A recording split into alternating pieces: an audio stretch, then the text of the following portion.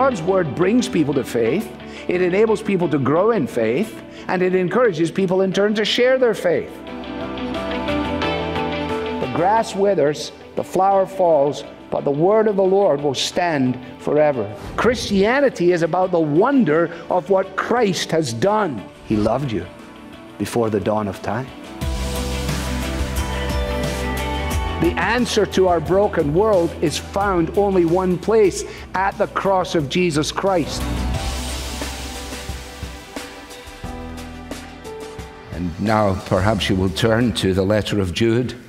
If you're visiting with us, we began uh, a couple of weeks ago to look at this letter, and we have reached verses 5, 6, and 7, which I'll read for us now. And Jude writes, Now I want to remind you, although you once fu- fully knew it, that Jesus, who saved a people out of the land of Egypt, afterward destroyed those who did not believe.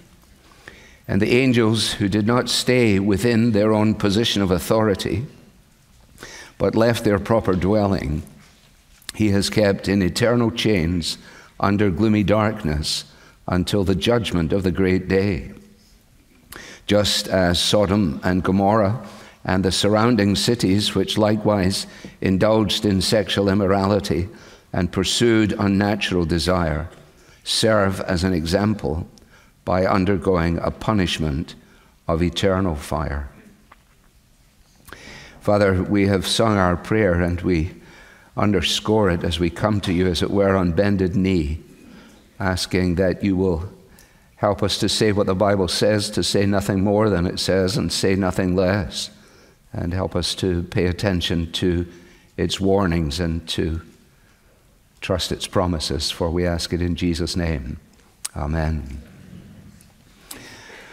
Uh, last month, our friends at uh, All Souls Church in London, that's All Souls Langham Place, where uh, John Stott was for many years the minister, and where Rico Tice, who has been with us here on a couple of occasions, uh, serves at least for another few months on the pastoral team. That congregation uh, uh, challenged the decision that had been made by the House of Bishops in the Anglican Communion, a decision that they took to bless couples in same sex unions. The church said, We do not feel that we can go along with this because such blessings, and I quote, are a departure from biblical Christianity and make clear that in doing these things, we're abandoning confidence in the goodness and authority of God's Word. Well, what were they actually doing? Well, in terms of Jude, they were contending for the faith for the faith which Jude says has once and for all been committed to those who belong to Christ.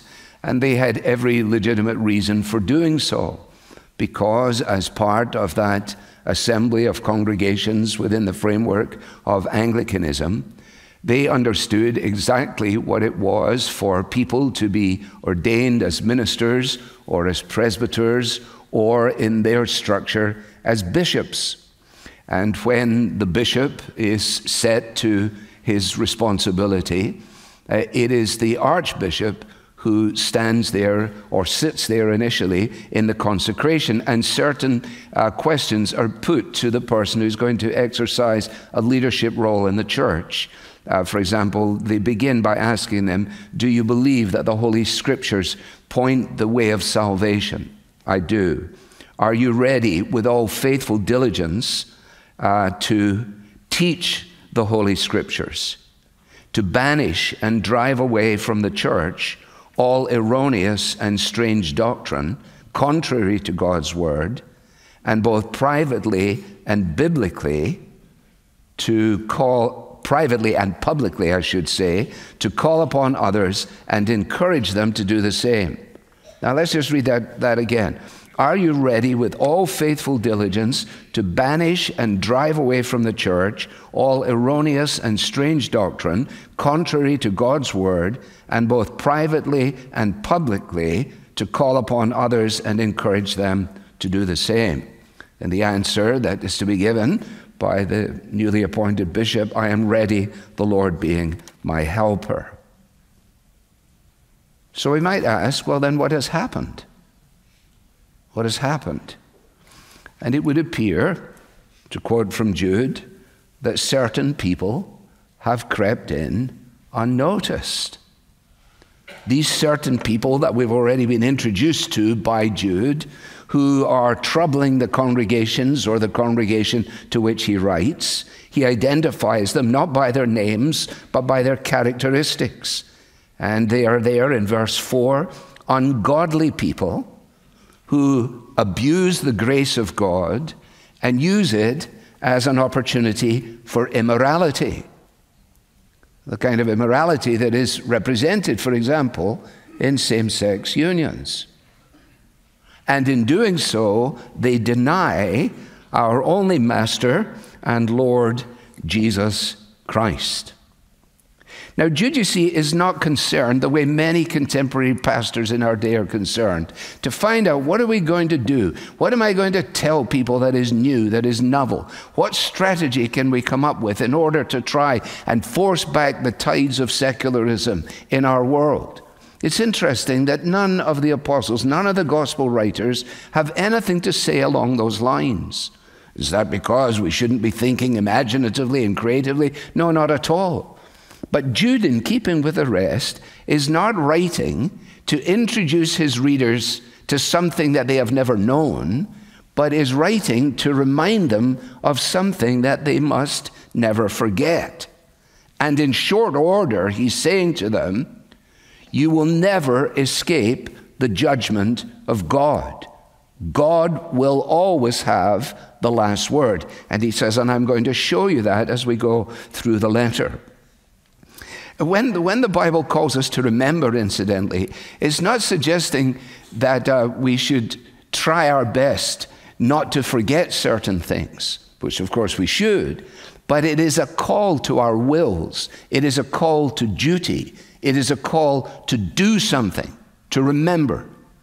In the same way, if we think about it in terms of marriage vows, remember your vows doesn't mean go in the bathroom and see if you can remember all the things you said. It means live in the light of those vows. Every so often, probably like me, you come across a, an Orthodox Jewish man, either in the airport or perhaps in a cafeteria or whatever it might be. And I have a very vivid picture of one in one of those little booths uh, in the, uh, the uh, Uh, what was the Continental Club in, in, in Hopkins. And I remember I, could, I heard the noise, first of all. And, and then, I, then I saw the person, and I saw that he had a Torah, and he was going through, he was going through his prayers. And then I noticed that he had on not only his suit clothes for his business responsibilities, but his suit clothes were actually accompanied by his robe. And on his robe, there were those blue lines which uh, uh, attached to the tassels at the corners of his robe. And you stand there and you say to yourself, My, my, what is that all about? And then you go to Numbers chapter 15, and the instruction is given to his people, and it shall be a tassel for you to look at and remember the commandments of the Lord, to do them, and not to follow after your own heart or follow after your own eyes, which you are inclined to do. Now, you have the same thing, don't you, when we talk about it in Deuteronomy chapter 6. These things are to be upon your heart. You shall teach them to your children when you walk along the road, when you rise, when you get up, when you're going about your business. You shall, but we don't read the part that goes on and say you shall bind them around your wrist. You shall fit them on the forehead, on your forehead. It's a reference to these very expressions. They were given to the people in order that they would not go astray, in order that they might remember. And Jude here is reminding them that what is currently happening, which he's referred to in verses 1 to 4, has always led to God's judgment. What is going on here, he says, and the reason that I'm writing to you, appealing to you to contend for the faith, you need to understand that this is not new. This has been written about long before. The condemnation that attaches to this in the judgment of God is written about through the entire Bible. And then he says, I'm going to give you a number of uh, illustrations or recollections, if you like. And here in verses 5, 6, and 7, he provides three Old Testament warnings showing that rebellion against God is always met by judgment. A judgment that is entirely righteous and is entirely necessary. Now, if you've been reading ahead this week, you've said, oh dear, this looks to get a little difficult here. Yes, I, I think I said to my friends, you know, verses 1 to 4 were okay, but now it falls off a cliff here at verse 5. What are we going to do? Well, here we are. First of all, I want to remind you, although you once fully knew it, you see, you, you, you, were, you know this, that Jesus, who saved a people out of the land of Egypt, afterward destroyed those who did not believe. So, in other words, he, he brings to them the reminder of the people who came out but who didn't go in. The people who came out but didn't go in. The going out, of course, is recorded for us in uh, Exodus. Remember this day, Moses says to the people, This day when the Lord, by a strong hand, brought you out. Remember this. This is a day that you must never forget. And you will notice that Jesus here is the one who brought them out. I say, but Jesus, we don't have Jesus. Jesus, we have to wait for Christmas for Jesus. Well, I'll leave you to f- work through all these things on your own, but the second person of the Trinity is all through the Old Testament from the very beginning in pre incarnate form. Sometimes mysteriously, sometimes referred to as the angel, whatever it might be. But you can see this that who could bring them out? Only the Savior. Who is the Savior? Who is the only Savior? Jesus. Who can execute the judgment? Only one person, Jesus. So he says, Out they came, and out they all arrived, and they were all excited about it for so long. And then, when time came for them to go into Canaan, uh, they started to grumble and complain. Now you're in Numbers chapter 13 and 14. Make a note of it so you can read it on your own and see if that is there. And what we discover is in the story that we all knew from Sunday school, if we had the benefit of a good Sunday school. Here we are at 12 men went to spy in Canaan, 10 were bad, 2 were good. Right? The 10 said, No, you can't possibly go in there. It's full of giants. It's a bad spot. It's not the kind of thing that we would like. And they began to spill the beans amongst the congregation, beginning to create them, murmuring to one another, Oh, we should never have come out. What a bad idea this was. You said you would do this, but it doesn't look like you're doing this. And so it goes on and runs all the way through. And so the word is as follows None of those who have seen my glory and yet have put me to the test shall enter the land. You must read it on your own at home and be clear about this. They did not believe that God would do what he promised he would do. They were unbelievers. Now, this is so significant that not only does Jude make reference to it, but for example, we read 2 Corinthians 11, but if we had gone, uh, as I'm about to do now, to 1 Corinthians 10, you discover that this is the great warning that Paul issues. I don't want you to be unaware, brothers or sisters, that our fathers were all under the cloud, all passed through the sea, all were baptized into Moses in the cloud and in the sea. He's talking about the Exodus. They all drank of the same spiritual drink, for they drank from the spiritual rock that followed them, and that rock was Christ. So, that's for your homework as well. Nevertheless, with most of them, God was not pleased, for they were overthrown in the wilderness. Now, just one other reference, just so we've got this very clear, that uh, the writers of the New Testament make reference to this because it is so significant. Uh, Hebrews 3 Therefore, holy brothers, you who share in a heavenly calling, consider Jesus the apostle and high priest of our confession, who, was faithful to him who appointed him, just as Moses also was faithful in all God's house. For Jesus had been counted worthy of more glory than Moses, as much more glory as the builder of a house has more honor than the house itself. And as I read that, I'm saying to myself, this, this is, uh, I'm not reading the right section. No, I'm not. I should be reading from verse 12. But most of you who didn't look it up didn't know anyway, but that's by the point. Uh, Hebrews 3:12 Take care brothers lest there be in any of you an evil unbelieving heart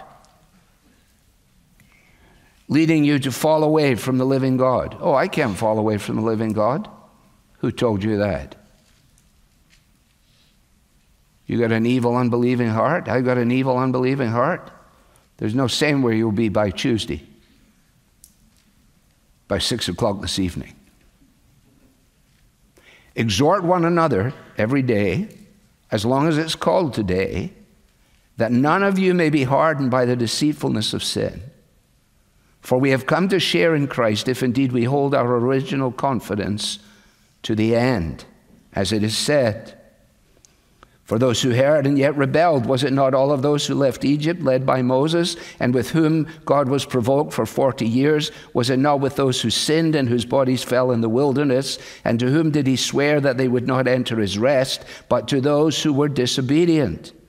So we see that they were unable to enter because of unbelief. Unbelief will keep you from Christ, unbelief will keep you from heaven. That's the point that he's making. Being part of the visible people of God is no guarantee of eternal security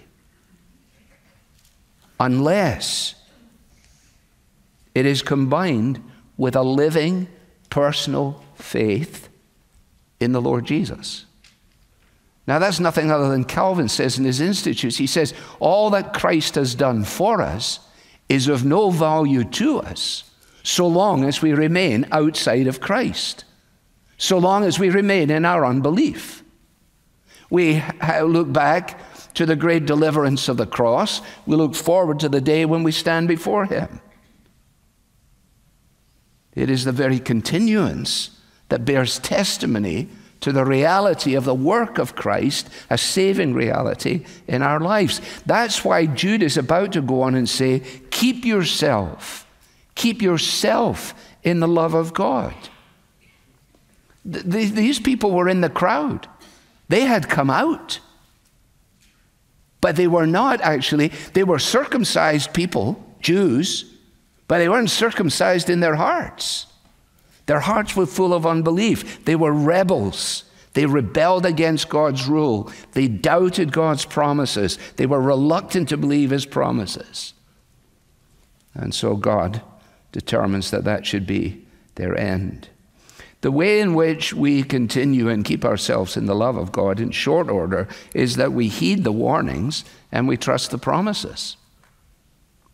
And you must allow the warnings to be warnings. Every time you come across a warning, don't say, well, that couldn't possibly be me. Of course it could.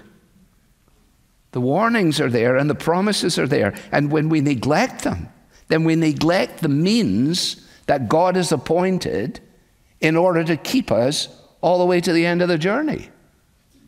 So we are not like those who perished in the wilderness. People want to comment on whether they were lost eternally or whether they only died physically. Whichever way, it doesn't really matter in one sense because Jude is applying it to the reality that is confronting them in the present time, namely, not all those who say to me, Lord, Lord. Lord, did we not cast out demons in your name? Did we not do this? Did I not preach all those sermons? Did I do all this? I would say to them, Depart from me. I never even knew you. Sober, isn't it? Mm-hmm. Well, that's the first one. Gets worse from there. now we go to the angels who didn't stay in their place. The angels who jumped out of their angelic box, as it were, Verse 5 And the angels who did not stay within their own position of authority, but left their proper dwelling, the proper dwelling, the place of God's appointing, came out of their place, came out of the plan of God for them. He's kept them now in eternal chains under gloomy darkness until the judgment of the great day. You see what he's saying here? He's saying, listen, all of this is in light of that. I appeal to you, he says, that you will not allow this kind of thing to take a hold within your congregation. Certain people have crept in unnoticed, flattering people, attractive people, undermining people, surreptitious people. And if the angels ended in this way, don't you think you ought to pay attention? That's what he's saying. Now, Jude's initial readers would be immediately okay with this. Uh, we, we find this particularly difficult, at least I found it difficult. But his initial readers would get the point immediately because they were aware not only of the material that is represented in the Holy Scriptures, but they were also aware, uh, aware of a Jewish tradition. And for example, we'll come on later to talk about Enoch.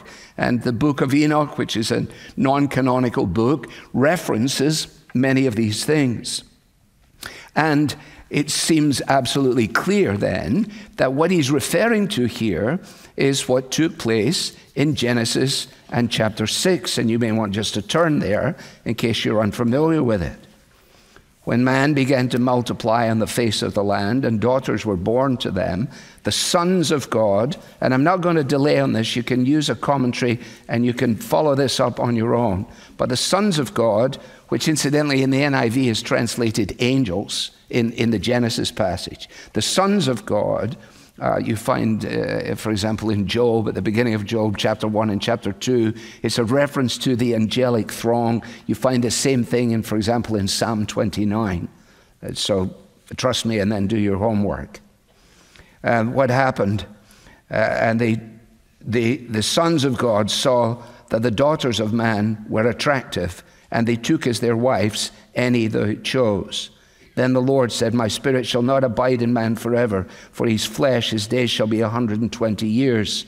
And the Nephilim were on the earth in those days and also afterward, when the sons of God came into the daughters of man, and they bore children to them. These were the mighty men who were of old, the men of renown. So you have this crossbreeding, and you have these giants that are created, and these giants begin to exercise their influence, leading to what God does in the flood. So they left their proper place, their assigned spot. They crossed the divinely appointed boundaries to engage in sexual immorality. Remember, he says, the people that are in your thing now, they will take the grace of God and they will corrupt it and make it a mechanism for all kinds of sexual deviance. He says, Remember what happened to the people who were left in the wilderness, and remember what happened to the sons of God, to the angels, who used their privileged position as a springboard for perverse activity. Surely that was what was happening. Think about this. Think about the dreadful stuff that happens in local churches where men, usually men, in God given positions of authority, use their position of authority by a means of manipulation to engage in that which runs entirely contrary to everything God has ordained. We don't have to look far for these illustrations. And what you're dealing with here is something that really stretches our minds preternatural, angelic beings those who exist beyond the ordinary course of nature. These sons of God who derive their existence from God, and yet they are given a rank and they're given a place that is actually superhuman. It'd be very easy to get lost in this, but you know this, don't you? When angels appear on earth, they almost inevitably appear in human form and they're almost exclusively male. Think, for example, later on in Genesis when Abraham entertains the three angels. They're not all flapping around like this. He gives them the meal. They have the meal. They're eating their thing. You say, Well, I don't know how that works. Welcome to the club. I don't know how it works either. Remember, Hamlet says uh, there are more things in heaven and earth, Horatio, than are dreamt of in your philosophy. And there are. Now, I have to be honest and tell you that one of my great heroes, John Murray, that I quote with frequency, exegetes Genesis 6, saying that these sons of God are actually the sons of Seth, and that they are not angelic beings. I shouldn't really have told you that, but I did. and I love John Murray, but I, I, don't, I don't think that's right. And so I decided to go with two other men that I love. Um, one is Derek Kidner, who's gone, and the other is Alec Motyer, who's also gone.